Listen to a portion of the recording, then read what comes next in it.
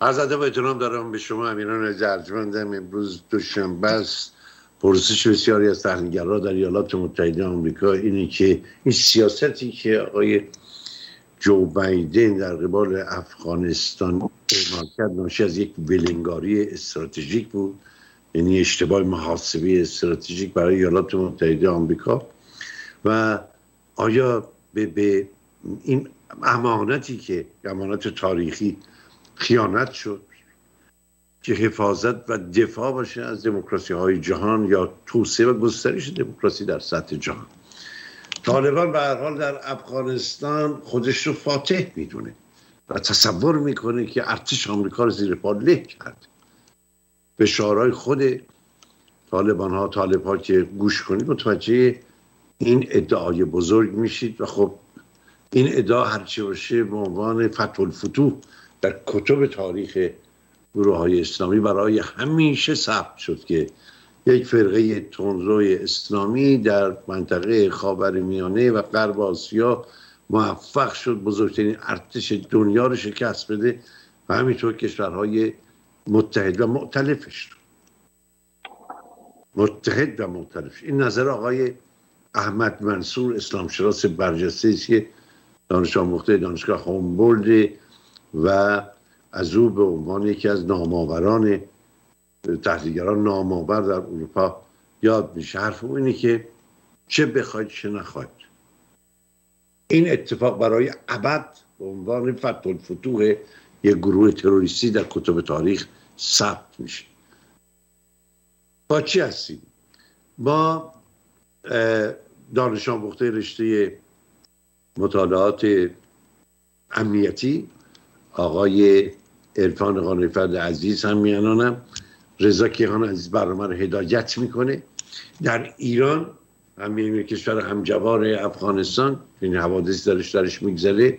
ما با چیدمان جدید در دولت آقای رئیسی روبرو میشیم. شخصیت های رو در رأس امور امنیتی و نظامی گماردن. که ده ها بار در اعمال سیاست و عمل کردهاشون ناموفق بودن. حالا سوال من اینه که با توجه به وضعیتی خاور میانه پیدا کرده واقع معمولیت این دولت جدید رئیسی و این کسانی که در رأس نادهای عمده کشور قرار گرفتن چیه؟ و اصلا نقش دستگاه های خفیه دستگاه های امنیتی در این در موقعیت وخیم موجود. آقای ارفان غانیفت درود بر شما خیلی خوش آمدید. سلام از ادب ایران دارم. خدمت شما و بینندگان عزیز ارجمند در هر که صدا و تصویر ما رو دارم. خوشحالم که این ساعت نسیم شد دیگر باید در کنار امیدوارم حال شما خوب باشه. آقای غانیفت اگه اجازه بدید می‌خوایم بریم به نگاهی کنیم به کابینه جدید. اما قبل از اون می‌خوام از شما سوال بکنم که حالا این آقای حسن فیروز آبادی که سالیان دراز در کنار آقای خامنه ای بود و نادهای عمده امنیتی و نظامی و انتظامی مملکت در واقع زیر نظر او بود. نمی‌دونم یه چیز حدود بیش از 25 سال ها در رأس قدرت بود آقای قانیفت؟ 27 سال. 27 27 اول نقش او چه بود؟ بعد میریم به کابینه بپردازیم. اونم در شرایط موجود منطقه بفرمایید. ارز کنم خدمت از که ایشون عنوان فرمانده کل نیروهای مسلح کشور در استاد فرماندهی به عبارت نیروهای مسلح مجموعه نیروهای مسلح ایشون 27 سال بر اون نهاد بود. چون فرمانده کل قوا خامنه است و رئیس ستاد ایشون در طی 27 سال یعنی از سال 1368 که خامنه ای به قدرت می‌رسه و به صندلی قدرتی که می‌زنه تا 95 و در ظرف این 27 سال ایشون در بسیاری از فعالیت های نظامی عملیات تروریستی و عملیات تحریک نیروهای ایزایی و گروه تروریستی نیابتی که از طرف ایران انجام میدن آگاه به مسائل. در واقع میشه گفت که با حضور مستقیم یا با حضور غیر مستقیم بسیاری از نظامی های ایران مثل همین فیروز آبادی قاسم سلیمانی محسن رضایی علی شمخانی احمد وکیلی احمد کاظمی اسماعیل قاعانی حسین سلامی و غیره. بلا استثناء از عملیات تروریستی جمهوری اسلامی آگاهی داشتن آنها با درجات و این شخص در واقع تمام عملیاتی که در سپاه ارتش و نیروهای نظامی و انتظامی رخ داده در واقع اطلاع داشته و نقش ایشون بیشتر سرباز ساختار خلافت اسلامی ولایت فقیه بوده و در واقع کسی که برای اختاپوز مذهبی در ایران تلاش کرده. مطلقا یک بار یک کلمه یک جمله در باره مصالح و منافع ملی ایران نگفته نداره و ایشون یک قدم در جهت توسعه یا حفاظت از مصالح و منافع ملی ایران انجام نداد. و فقط در خدمت دستگاه شیعگری ولایت بنابراین حاصل جمع حرفا میده که حسن فیروز آبادی که با کرونا مرد در واقع هیچ نه تنها نامه که چرس کنم هیچ اثر و جایگاهی هم از خودش به جا نگذاشت. و این داستان این شخص است که این چنین پایین است بنابراین اون شخصیت نبود که استقلال رأی داشته باشه. دکترین خاصی هم نداشته نه؟ خیر از سال 1368 تا سال 1395 در ظرف 27 سال ایشون در اون شغل قرار داشته. هیچ عملکرد مشخصی نداره جز همکاری با توسعه تروریسم جز همکاری با توسعه در واقع جنگ های فرقه در داخل منطقه خاورمیانه و جز انگشت گذاشتن سر دو داستان که در واقع دیپلماسی ملایان رو تشکیل میده که امریکا ستیزی و دیگری اسرائیل ستیزی یا به عبارت دشمنی با یهود. اینها رو در واقع ایشون انجام داده و تو تیوار اون جمله هایی رو که یاد گرفته بود در سخنرانیاش ازش استفاده و هیچ ضبط و ربط خاص سیاسی هم نداشت. بیشتر حزب باد بود. و هر جا که مصلحت شخصی خودش منافع شخصی خودش ایجاب می‌کرد ایشون سعی می‌کرد به اون جهت بره. یک بار به سمت احمدی نژاد می‌رفت یک بار به سمت حسن روحانی می‌رفت یک بار به سمت رفسنجانی می‌رفت.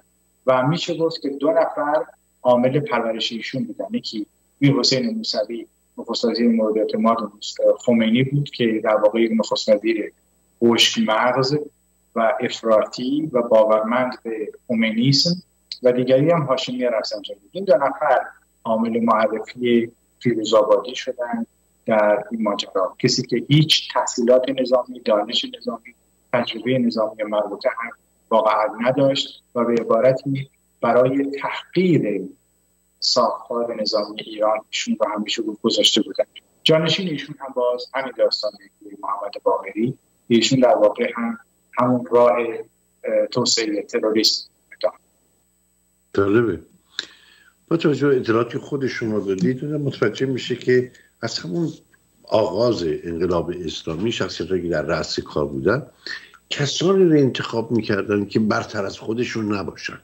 یعنی دنبال آدم متخصص و تکنوکرات و آگاه به اون قلم روی که منصب رو به اونها می‌دادن نباشن و از اونها نتونن سبقت بگیرن. در نتیجه مجموعه کسانی انتخاب کردن مثل آقای علی اکبر براتی که مطلقا اطلاعی از سیاست خارجی نداره مطلقا مطالب رو رو نمی‌شناسه. ولی به خاطر اینکه روزی زبان انگلیسی بلد بوده که آقایون بلد نبودن و قرار بود تماس بگیره نقش مترجم رو بازی کنه گذاشتن در رست و ایشون باورش شده که کارشناس مسائل سیاست خارجی است و خب بغل گوش آقای خامنه ای هم بوده و متاسفانه تمام اشتباهاتی که در طی این چند سال اخیر رخ داده در قلم روی سیاست خارجی یکی از شخصیت هایی که مسببش بوده آقای آقای در این زمینه توضیح دارید که من سال بعدی رو مطرح کنم. نه من با نظر از کاملا موافق هستم یعنی اینا تخصص برایشون مطرح نداره میگن تعهد. تعهد به چی؟ تعهد به ساختار ولایت فقیه و ساختار دستگاه شیعگری در ایران. ارتباطی به مسئله تخصص و دانش آگاهی نداشته و نداره بپردازیم به گزینه دیگر. در در در کابینه آقای رئیسی محمد باقری است. در رأس چندین نهاد قرار گرفته. به نظر می‌رسه که هم هماهنگ کننده است هم اینکه کل تشکیلات انتظامی و نظامی و امنیتی و ارتش و اینها حتی سپاه قدس هم آمده زیر نظر محمد باقری. در این زمینه چی می‌دونیم؟ بفرمایید. بعد از اینکه آبادی کنار شد با دستور خامنه ای از سال 1995 همین محمد باقری در واقع فرمانده جدید نیروهای مسلح کشور شد. و همونطور که از دل فرمودین اکثر این نهادها در هماهنگی با ایشون هستن و با نظر ایشون فعالیت انجام میدن. مثلا معاون سپاه قدس که تروریست عجیب و غریب اسم فل آزاده در واقع باید با هماهنگی ایشون مثلا در سوریه کارش انجام میدن مثلا اسماعیل قائمی در شرایط فعلی که فرمانده گروه تروریستی سپاه قدس هست همگام و همراه با محمد باقری حرکت کنند محمد باقری یک چتر حمایتی هست برای این نهادهای تروریستی. چون توجه بفرمایید چه سپاه سپاه پاسداران چه سپاه روز چه وزارت دفاع همگی در واقع توسط امریکا و اروپا برای اشاعه تروریسم تحریم شدن و همگی در واقع متهم و ملجم هستن به خاطر اینکه به توسعه تروریسم کمک و فراموش هم نکنیم که در ساختار سیاسی ایران هم هر از گاهی یه شیرین اقلال پیدا میشه که از سپاه دفاع می‌کنن یا از ارتش دفاع می‌کنن و هر سرکوبی که رخ میده میگن سپاه و ارتش بیگناه هست. علی بارها و بارها در مصاحبه با کارشناسای بعضا کارشناس در برخی رسانه فارسی رو شنیدیم و دیدیم نیازی به گفتارش نیست و نیازی به آوردن اسمش نیست. ولی متاسفانه این من از یک کلمه استفاده کردم مثل شیرین عقلی و به اینکه نادانی و یا خود رو به نادانی زده در واقع تمام دستگاه نیروهای مسلح کشور از یک سیستم یک ایدولوژی راه حمایت می‌کنه و دنبال می‌کنه. و اون هم حفظ ساختار ولایت فقیه است. استثنایی هم توش وجود نداره. اینکه در برخی جاها سرکوب رخ میده و میگن نمی‌دونم دست نیروی انتظامی بود. خب نیروی انتظامی هست یک مجموعه در واقع وزارت کشور هست و وزارت کشور از یک مجموعه ریاست جمهوری است و نیروی انتظامی هم جزئی است از نیروهای مسلح کشور که باز به محمد باقری وصل میشه و باز به خامنه ای وصل میشه که فرمانده کل نیروهای مسلح کشور است پس این یک نوع عدم شناخت و آگاهی در این مسئله است چه فیروز آبادی و چه محمد باقری هر دو توسط امریکا و اروپا مخاطر تروریسم متهم شد و شخص محمد باقری هم در واقع یکی از افرادی که در دفتر ایشون بود به اسم آشتیانی الان وزیر دفاع هست در کابینه رئیسی. بنابراین این ساختار همچنان ادامه خواهد داشت و این افرادی که متهم به تروریسم هستند در واقع در ساختار ریاست جمهوری جدید یعنی رئیسی و حضور بسیار پررنگتری دارد و اینها هیچ کمکی به توسعه صلح و ثبات در نه تنها ایران در خاورمیانه هم تشکر. هم بیا کمی. حالا کل منطقه رو ببینیم. وضعیت ایران رو شهر دادن کابینه جدید حالا به بقیه هم خواهیم پرداخت. اما تاثیراتش در ایالات متحده آمریکا کاملا مشهود الان یعنی نگاه کنید الان به مجموعه نظرسنجی ها حتی آخر نظرسنجی هایی که صورت گرفته بود آقای ترامپ رو در برابر بایدن قرار دادن در سال 2024 که اگه اینا دوباره در برابر هم قرار بگیرن کی برنده است؟ و پایه نظر سنجی ها آقای ترامپ با 47 درصد از بایدن پیشی می‌گیره. یعنی اینقدر مسائل منطقی ما در خود ایالات متحده آمریکا افکار عمومی رو زیر تاثیر گرفته. خب وای به حال مردمان منطقه ما که الان زیر فروزه های این وضعیت وحشتناکی هستن که در منطقه ایجاد شد. جمهوری اسلامی هم به نظرم بی تقصیر نیست ولی مطمئن باشید که اولین کشوری که اولین حکومتی که صدمه و زیانش رو با تحمل بکنه خود حکومت جمهوری اسلامی است. به هر حال طالب ها مدعی هستن که ارتش آمریکا رو زیر پا کرد. این ادعا رو داره. آقای رونزهایمر پاول رونزهایمر روزنامه‌نگار آلمانی که در کابل میگه من دارم مشاهده می‌کنم جنگ افزارهای مدرن رو در دست آدم هایی که از عصر حجر آمد فکر کنم خود این توصیف کافی باشه. که ما با چه وضعیتی در منطقه روبرو هستیم. آقای احمد منصور اسلام شناس میگه هر یک دلاری که چون اروپایی ها تصمیم گرفتن کمک مالی بکنن به, طالبان. آمریکایی هم که آب پاک ریختن روی دست مبارزان و آزادی خواهان افغان گفتن از جنبش دره پنجیر حمایت نمی کنیم یعنی اونها رو به حال خودشون وسط زمین هوا رها کرد این خبر خیلی ناگواری است برای همه مردمانی که چشم دوختن به یک ایالت. 34 ایالت داره افغانستان. یک ایالت بود که در اونجا مقاومت صورت می‌گرفت در برابر طالبان.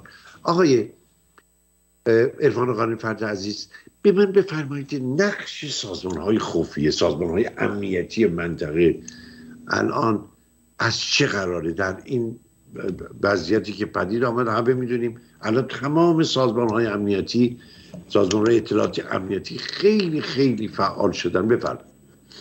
ارز کنم که در شبکه فراملیتی تروریسم چند گروه هستن که بلا استثنا با واجا وزارت اطلاعات ایران و ساس سازمان اطلاعات امنیتی سپاه مرتبط هست که می‌تونیم بشمونیم حزب الله هست حماس هست القاعده است طالبان پیکیکی هست جهاد اسلامی فلسطین هست خوسی ها هستند و گروه های کرد عراق هستند و حتی گروه های کرد ترکیه و سوریه بنابراین ایران یک مجموعه ای از شبکه فراملیتی تروریسم در دور تا دور ایران داره حمایت چه سیاه آقای ویلیام برز و چه در موساد آقای دنیا تک تکشون این مسئله رو می‌دونن و آگاه هستن به این مسئله چه سیاه چه موساد که در واقع ایران حامی اصلی این شبکه فراملیتی تروریسم است. حضرت درست فهمیدید وقتی دور تا دور ایران شبکه های تروریستی در اختیار ایران قرار و فعال هستند سازمان های اطلاعات امنیتی همگی یا دنبال نفوذ هستند یا دنبال کنترل حرکت و یا دنبال جهت دادن به اون حرکتی که گفتم چند تا سازمان اطلاعات امنیتی هستن که الان آشفته از خوزا یکیش میت ترکیه است که با ایران همگامی یکیش استخبارات قطره که همگام با جمهوری اسلامی داره حرکت می‌کنه و قطر هم حامی تروریسم است و دیگری سه کشور هستن چهار کشور که اطلاعات امنیتشون با CIA در واقع همراه هست. یکیش اردن و امارات متحده عربی سفارت عربستان سعودی و تا حدی کویت. این کشورها به این نتیجه رسیدن که خیلی خب اینا چیکار باید بکنن؟ از طرفی طالبان با سازمان امنیت پاکستان همکاری می‌کنه. حتی سرباز از پاکستان داره. از طرفی با جمهوری اسلامی همراهی داره با سپاه قدس و بنابراین آشفت بازاری است که در این آشفت بازار و بازار تروریسم به نظرم ایران سهام رو داره و در کنار اون سه کشور پاکستان قطر ترکیه هم در بحران شدن افغانستان نقش دارد و این چیزی نیست که از سازمان اطلاعات امنیتی اسرائیل و سازمان اطلاعات امنیتی امریکا CIA به دور باشه. و من تصورم بر آن هست که یک موج جدید تروریستی به راه خواهد افتاد به خاطر اینکه افغانستان تبدیل میشه به یک پناهگاه یا بهشت هم برای گروه های تروریستی و از طرف دیگه هم ممکنه سرریز بکنه به کشورهای مجاور. و تصور ذهنی بدینی که در عراق هم مجددا داعش دوباره کار رادیکالیسم و تروریسم خودش رو با شدت حدت بیشتری آغاز خواهد کرد. و سیاست خام آقای بایدن در واقع میشه گفت کمک غیر مستقیم یا مستقیم به شکلگیری و ظهور دوباره تروریسم در منطقه بود. و این چیزی که غیر قابل بخشش است ولی در اون حد از این خلای قدرت هم جمهوری اسلامی نهایت استفادهش خواهد کرد.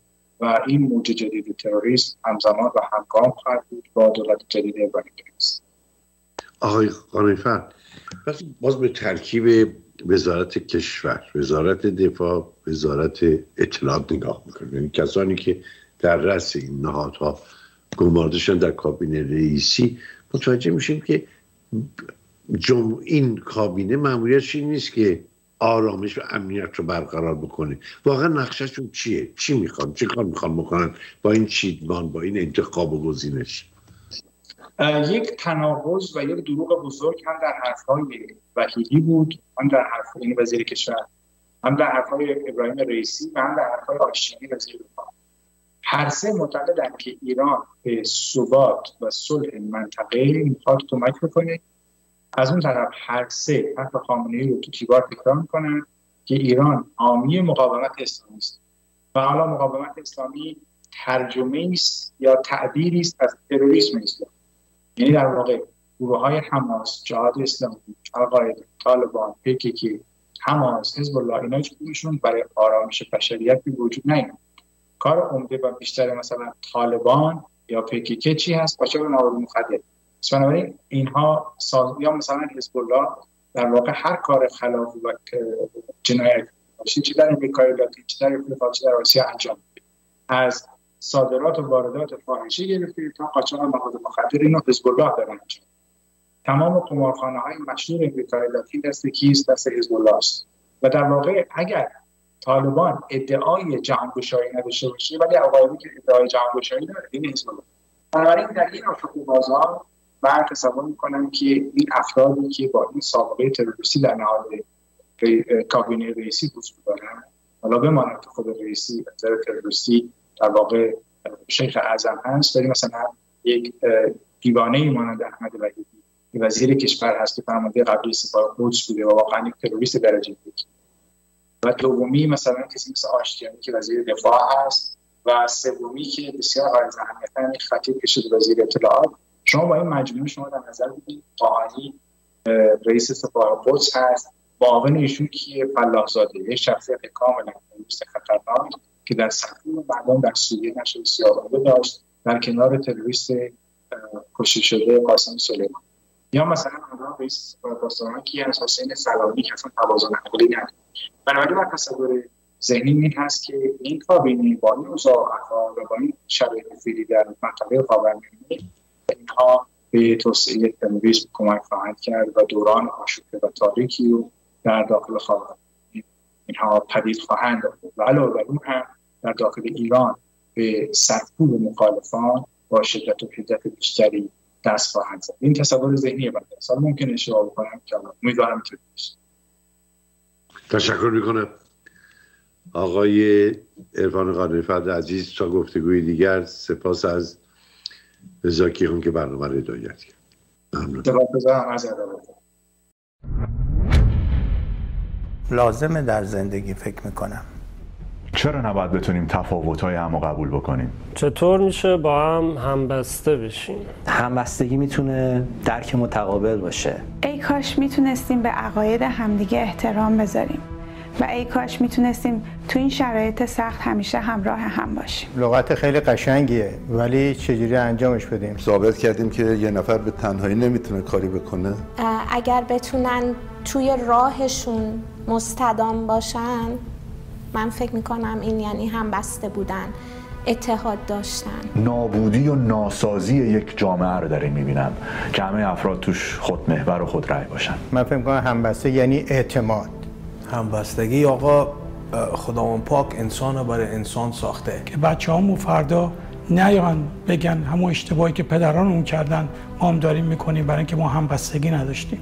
ترین چیز به نظر من همبستگی هستش که منجر به عشق میشه در آخر. برای رشد فرهنگ بهتر برای رفتار بهتر برای احترام بیشتر. برای یک دل بودن. از اسمش هم پیداست. یک واژه سازنده و مثبتیه. اگه اون رهبری درست نباشه اون تیم ورک به اون صورتی که می‌خواد باشه نمی‌تونیم ازش ریزالت بگیریم. So it's very important to have a good leadership so then we could have a proper teamwork. در کل خود کلمه هم بسته خودش جواب خودشون میده. به هم وابسته بودن. پیوند با همدیگه داشتن. درد یکی دیگر رو درک کردن و کنارش بودن. اینکه به نظرات همدیگه عقاید همدیگه احترام بذاریم بتونیم همدیگه رو درک کنیم. کنار هم باشیم پشت هم باشیم بهترین اتفاقات ممکنه بیفته. نقاط مشترک همدیگر پیدا کنیم و به نظرات هم احترام بذاریم.